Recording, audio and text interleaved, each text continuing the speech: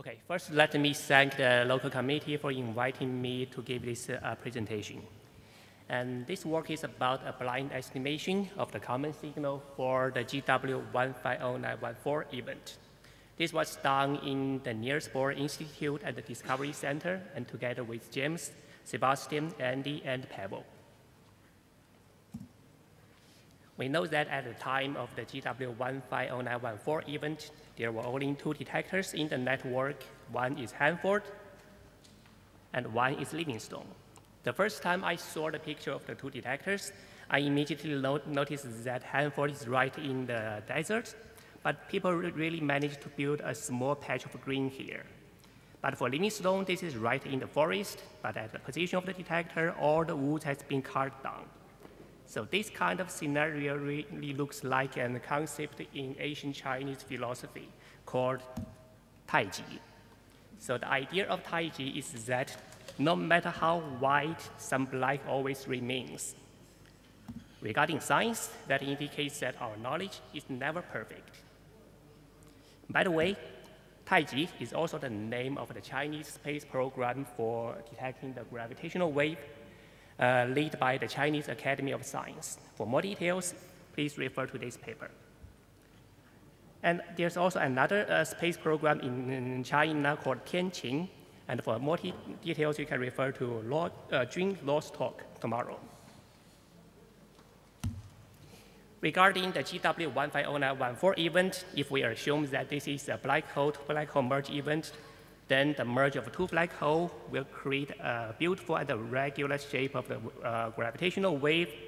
And with, when that reaches the Earth and was received by Hanford and Livingston respectively, due to different uh, instrument response and the noise property, and especially due to the projection effects, the gravitational wave signal, I mean the theoretical signal expected at the two detectors will be different. However, if we invert the projection effect, then the two expected signals should be identical. Also, because the event is strong enough, even uh, directly from the strain date, we can see that uh, we can still see the morphology of the event, and if we invert the projection effect, then even the strain date in Hanford and Livingston should be highly correlated. However, this will not happen for the residual or this is not expected for the residual. And the residual is uh, defined as the strain date minus the expected theoretical signal. So this immediately gives us two basic principles for detection. The first principle is that the expected uh, signal at uh, different detectors should be highly correlated. Of course, here we have, have to consider the projection effect. Later on, I will not mention the projection effect anymore, just for convenience. The next principle is that the residual at different detectors should be uncorrelated. So these two basic principles are very easy, uh, they are understandable, and they are robust. And they are also high, uh, uh, significantly uh, related to the likelihood. We know that the likelihood method has been widely used in physical experiments for estimation of the parameters, morphology, significance, and so on. For different experiments, the form of the likelihood function can be significantly different, but they normally have uh, a standard core part which looks like this. So here, X is the date or noise or template, and C is the corresponding covariance matrix. For the covariance matrix, it should contain the diagonal terms, which is always non-zero because this is the covariance between one item and itself. And also the off-diagonal terms. This can be either zero or non-zero because this is the covariance between one item and something else. It can be, for example, the uh, Hanford noise with the Livingston noise, the Hanford signal with the Hanford noise, and so on. It will be very convenient to assume that the off-diagonal terms are all zero, then the, the whole system or the whole data analysis can be greatly simplified. But this kind of assumption means a great assumption about many aspects. For example, this requires that the noise property are almost perfect. The noise has to be random, Gaussian, stationary, and uncorrelated, And this also means we ha must have a full knowledge of the systematics as well as a full knowledge of the actual sources that may create similar uh, signal to the expected signal. So this kind of assumption uh, uh is apparently too strong. Uh, if we come to the case of LIGO, as far as we can see from the LIGO papers, the likelihood function used by LIGO actually includes only the diagonal terms. So actually, uh, it has been this, there, there is effectively a, an assumption that the off-diagonal terms are zero, and that immediately means those assumptions listed here. If we come back to the two basic principles, then we can see that apparently the first principle corresponds to the diagonal terms, and the next principle corresponds to the off-diagonal terms. So if we consider the both principles, then we are actually considering the whole covariance matrix. If we want to apply the both basic principles in data analysis, then there is a practical issue because both principles requires an estimation of the common signal. To do that, there are two possibilities. The first possibility is by using a GW template bank. A template bank means to assume various template size for the, uh, uh, for the binary system and calculate the corresponding uh, gravitational waveforms, and the combination of all such waveforms is called a template bank. The advantage to use a template bank is that it gives much higher sensitivity. But the disadvantage is that first, this is affected by degeneracy. For more details, please go to James Creswell's talk in the HE8 parallel session. And the next problem is that this method is actually subject to many assumptions and constraints. It has to assume that the measured signal is simply template plus noise. And it has to assume that the noise is stationary Gaussian. For example, this kind of assumption is needed for calculation of the power spectrum density function. Also, people have to know exactly about the systematics, for example, the glitch, and people have to know uh, about all the actual things. Uh, from David Shoemaker's uh, talk just now, we can see that there are, already, there are already some efforts in LIGO to remove the systematics and to estimate the contribution of the noises. But actually, uh, for example, removal of the systematics cannot completely erase the of diagonal term of the covariance matrix. So this can only alleviate the problem, but most likely it will not kill the problem. So we can easily see that all these are related to the uh, off-diagonal terms of the covariance matrix. And the use of a template analysis in this way can be problematic. For that, we have some very interesting examples. In UK, police use the template analysis to recognize car license. They, uh, this works perfectly because they know exactly what to look for. So even if the picture of the car licenses looks very faint, they can still recognize the underlying characters and numbers. However, this kind of system doesn't work with an uh, Italian license plate because this is not within the template bank. One possible way to improve the recognizing is by using artificial intelligence, but even an artificial intelligence algorithm has to be trained with a complete set of the templates. For that, I have another good example. I have a very nice application on my smartphone to recognizing the plants. It really works with artificial intelligence, and all I have to do is to take a picture, and the program will tell me what it is. It works perfectly until one day I decided to play with it. So I took a picture of myself and asked the program to recognize me. And the answer is I am a potato. so we can see if uh, I am not in the template bank, but the program will still try to give some answer that is within the template bank. When we come back to the LIGO's case, if the template bank method wants to work perfectly, then it has to include all possibilities. And this is uh, very, very difficult. For example, uh, a lot of catastrophic events can easily create something like a chirp, for example, the seismic wave. They are not necessarily identical to the gravitational waves in all aspects, but we have to be aware of the possibility. So that means uh, incomplete template sets can lead to false positives and can be potentially dangerous. Keeping that in mind, we can go to the next possibility, which is to, to give an estimation of the common signal not by using template bank, but, but by using a blind method. A blind method means there's no a priori assumption about templates and noise property. So this one is apparently more robust, but there is a price that this is much less sensitive than the, than the method using uh, to use a template bank.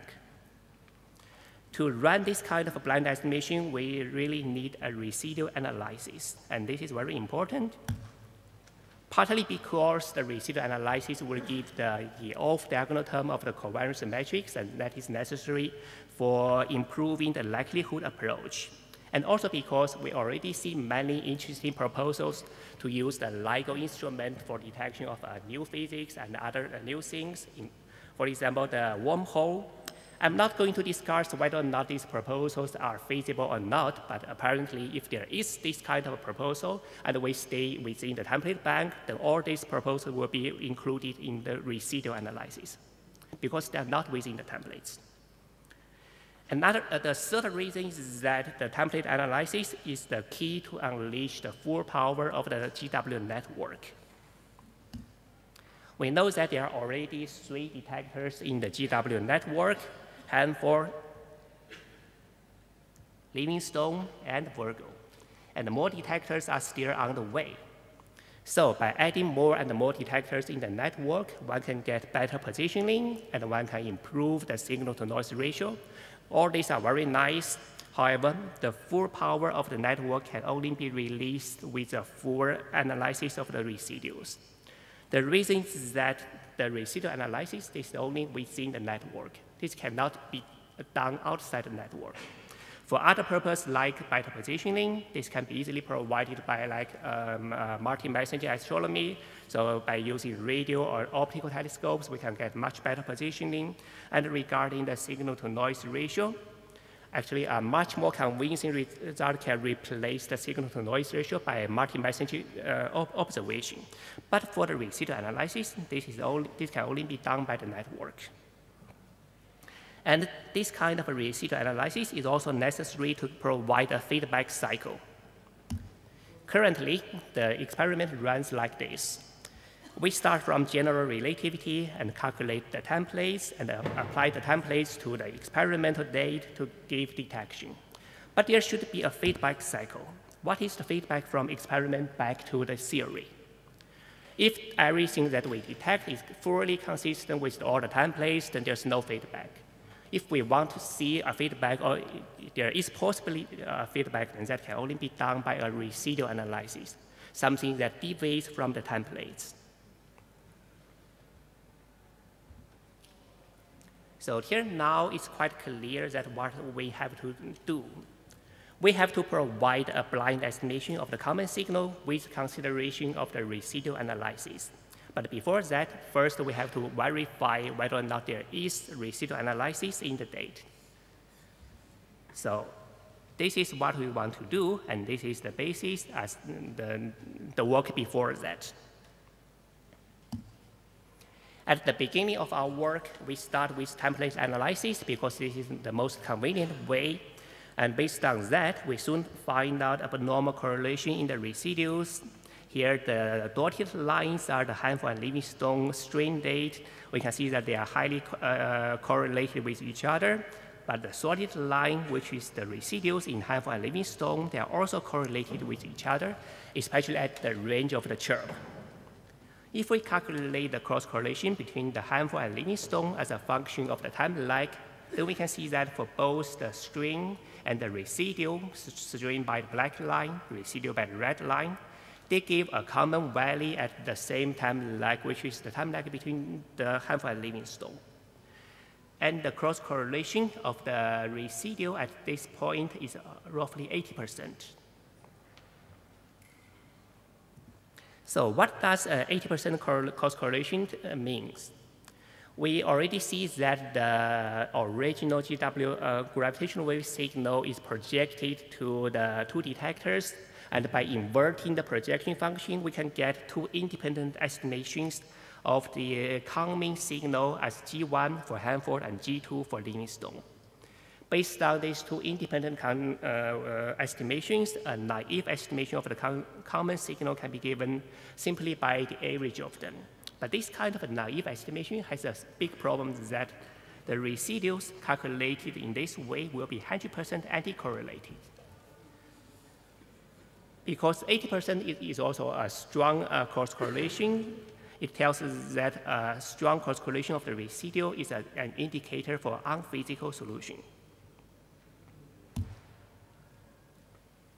So if we confirm that there is a residual correlation between Hanford and Livingston, then the next thing that we have to do is to deal with a key issue, that whether or not this kind of a residual correlation can be solved by any template from the template bank. If the answer is yes, then this might be only a problem internal to the template bank, so that will not be very urgent. But if the answer is no, that will open the door to new opportunities. Note that this is a chance. This is not a crisis. And this kind of approach will also provide a positive uh, response to the issue mentioned just now in David's uh, presentation. Uh, because in, in, his presentation, he already mentions that the LIGO template uh, provided uh, in their uh, first paper might have some problem. So what we are trying to do here is that okay, if that template has some problem, then maybe by going through the, the whole template, what is the result that we can get?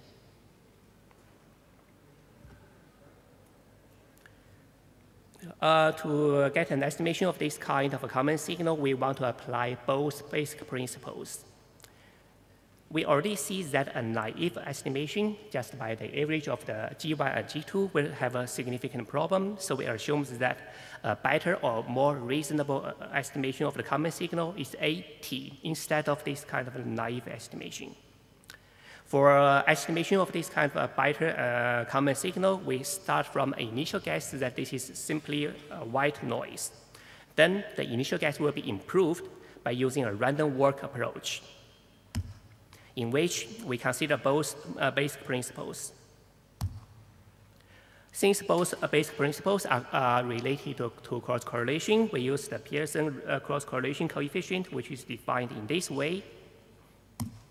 And the first basic principle indicates that the cross-correlation between the common signal and Hanford and the cross-correlation between Hanford and Livingston should be high. This is, a, this is the first criterion. And the second criterion uh, that relates to the second basic principle is that the cross correlation between the Hanford residual and the Livingston residual should be low. These are the only uh, two conditions that we need to give the estimation and nothing else. And we can also see that the, these two, sorry, these two conditions, they correspond to the diagonal term of the covariance matrix, and this condition corresponds to the off-diagonal term of the covariance matrix. Of course, uh, if we want to give a complete analysis of a covariance matrix, that will be very complicated. So this is only a simplified case. Uh, this is something like a qualitative improvement of the estimation by taking the, the off-diagonal terms into consideration. But this is not a complete analysis of the covariance matrix, for sure. Uh, this kind of approach looks like a linear model, but actually this is nonlinear partly because the amplitude of, of, the signal at each detector will be determined by the signal, the, the signal itself. Also because uh, this signal is not a linear combination of anything. It can be changed at each point due to the likelihood. Uh, to construct a likelihood function to evaluate the quality of the common signal estimation, we convert the cross-correlation coefficient uh, by Fisher transform. This is to enhance the Gaussianity because we know that the cross-correlation coefficient is very much non-Gaussian. But after Fisher transform, this will be much better Gaussian. Then we construct the likelihood, which is simply uh, the summation of the Fisher transform of the cross correlation between the common signal with Hanford, between common signal, signal and, and Livingston, and the cross correlation of the residual. This is very simple likelihood. Then we try to change the value of the A, which is the initial gas at each point, either by increasing or decreasing, and use the direction that gives higher likelihood. And run this kind of a random walk iteratively to give a, a better and better solution. And this is the result of the random walk uh, search. Because we start from a white noise initial guess, the initial likelihood is very poor. But we can see that with the step of searches, the likelihood of the uh, common signal estimation is quickly improving, but this kind of tendency will not continue forever because the likelihood cannot go uh, to infinity. At some point, the likelihood will start to oscillate, and in this region, in this oscillation region, both here and here, a higher likelihood is not necessarily uh, equal to a better solution. That is due to chance correlation because the real common signal and the uh, background noise, they have to uh, correlate, they have to be correlated at some extent. And due to this kind of chance correlation, we can never reach the real common signal solution, and all the solutions in this oscillation region, they are all reasonably good. This is also why the average of all these solutions is not very important, but the most important thing is the range of fluctuation given by those oscillations for each point. And here is the uh, result of solution.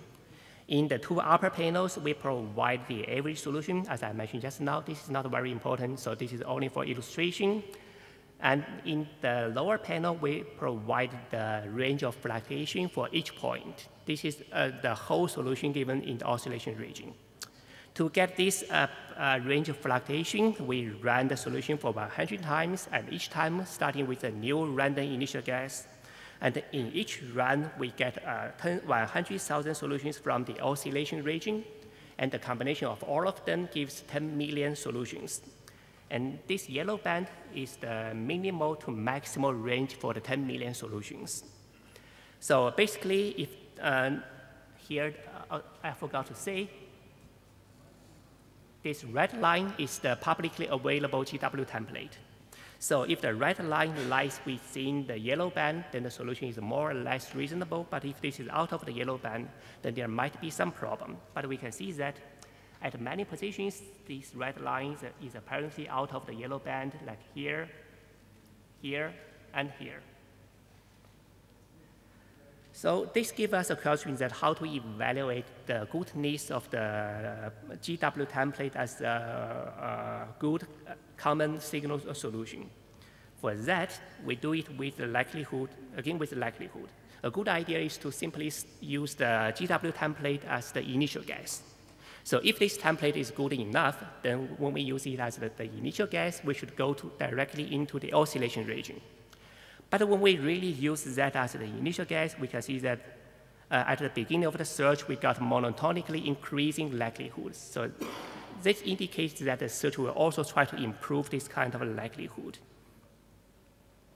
Of course, this publicly available template is only one template in the template bank. So we also want to see what will happen with the whole template bank. And this is given by this picture. Here, the black dots are the 10, 10 million solutions, random, random solutions in the oscillation region. And the yellow band given here is the likelihood that can be reached by the template bank. Here we especially plot three horizontal lines. The lowest horizontal line corresponds to the publicly available template with 36, 29 solar mass, which, uh, as mentioned by David, this is the best fit template. The second horizontal line, this one, this corresponds to another template with higher total mass, just for example. And the third horizontal line, this is the maximal likelihood that we can get uh, within the template bank. Of course, due to degeneracy, uh, when we search through the template bank, we have to use some kind of a step.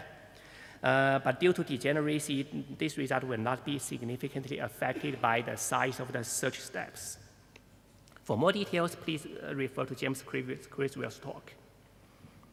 And especially for the lowest template, which is, which is the public available template, there are only four instances in the 10 million solutions that fall below this, this line. So if the, um, and we also give the chance that this 10 million solution fall within the template bank, that is only 0.008.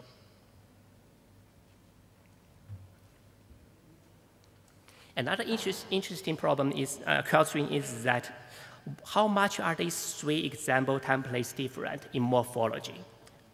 The three templates means the three templates that we see here, the three horizontal lines. So we take the parameters and we calculate the corresponding uh, gravitation, gravitational wave morphology and compare them with each other. And this is the difference between them. So we can hardly see any real significant difference and uh, those three templates, they can be different by up to 12 solar mass, but we don't see uh, any uh, big difference between them. So this tells us that if we work only within the template bank, then the possibility for morphology of the common signal is very much limited. If you want to consider any other possibility or other, uh, other um, mechanism, then you have to jump out of the template bank uh, to use something like a blind estimation or by using your own theory to create something, uh, some actual signal, uh, actual template. To stay within the template means to reject all other possibilities from the start. Here are some observations, especially we mentioned that if we plot the yellow band, which is the range of the uh, solution, for the first half of the event, we see that the yellow band will cover the zero line, which means for this range, for this range, the signal is not strong enough to give a reliable blind estimation. So finally comes to the conclusion. First, we have seen significant residual correlation between Hanford and Livingston for the first GW event. Then it seems unlikely with this kind of a probability that the biased common signal can fall within the template bank. If we uh, first get the best estimation of the common signal and then compare that with the templates within the template bank, we can possibly uh, uh, reject or rule out some mechanism, but they cannot be used to confirm a mechanism with certainty. Then without residual analysis, the analysis of the gravitational wave data is incomplete in many aspects, including the problem in covariance metric, the likelihood, the feedback cycle from the date back to the theory, and other possibilities abilities and uh, proposals, and also about releasing, unleashing the full power of the network. Finally, a great focus on residual correlation can open the door to more refined understanding of the LIGO results. Thank you very much.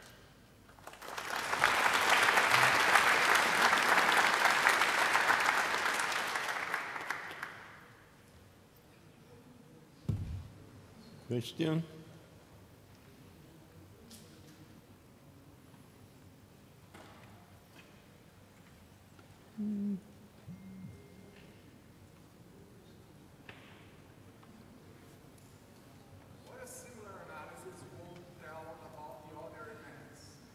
Uh, sorry?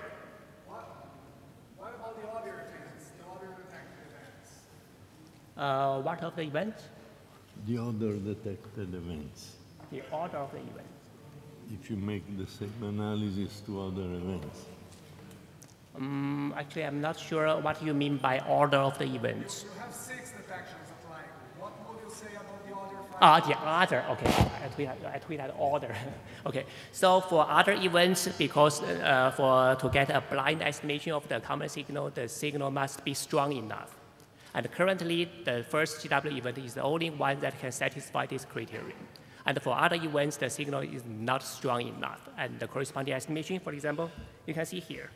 Even for the first event, only the chirp part are re really reliable to give a common estimation. And even the first half of the first event, this is not that reliable, the solution. That's, that is the reason.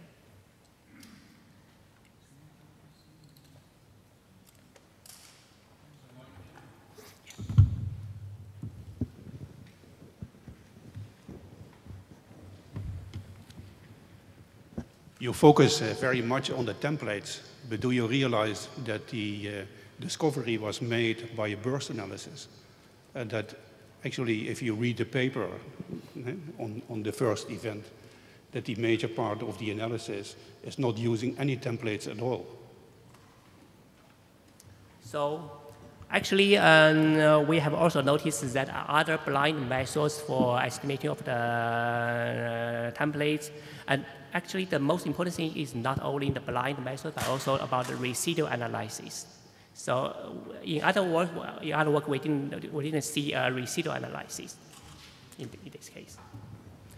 Actually, we know that the blind estimation has already been done in other works.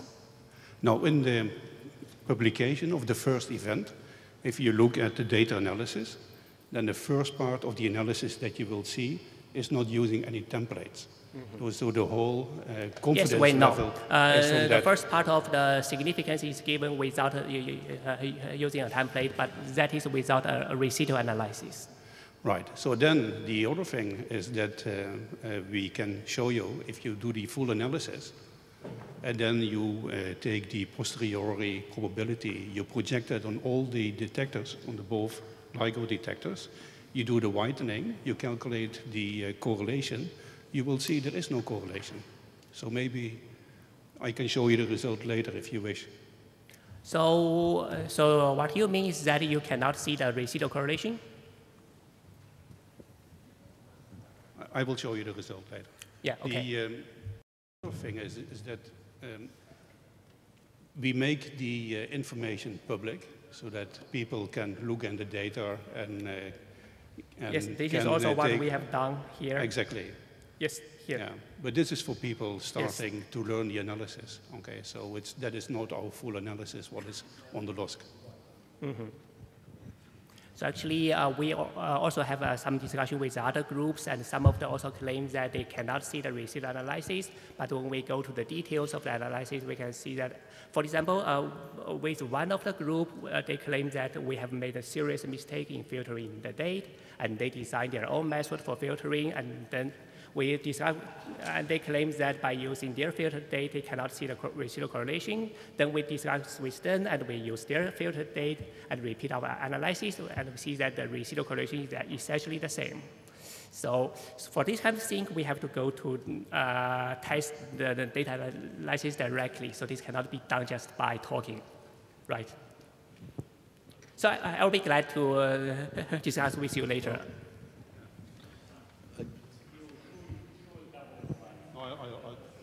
I can do it tomorrow. I can do it tomorrow. Yeah. The other thing is that the whole uh, analysis by CBC is open source. So everybody here can work on That's the great. details of the open analysis. source is great. Yeah, so we do even that. Okay. Yes. That's certain, certainly great. Any more comment or question?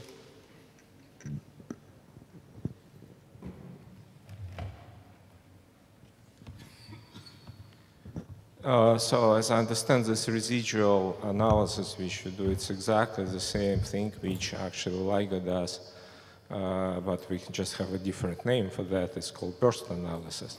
And there are at least two different ways how to do this, two independent ways how to do this. And also actually there are other papers showing the agreement between two different types of waveforms reconstructed with the templates algorithms. Of course, there are some error belts associated with that, and also entirely independent from the templates waveform reconstruction, which also has error belts. And of course, when we're looking at the residual, you need to, to add here the corresponding error belts, which are showing if this residual is significant or not. So actually, um, my understanding is that you mean there are some other ways to provide other templates. So your point is that you, uh, there are other ways to provide other templates? Because I don't really get your point. The point is very simple, the same like was said before. Uh, there are non-template methods for detection but not only for detection, but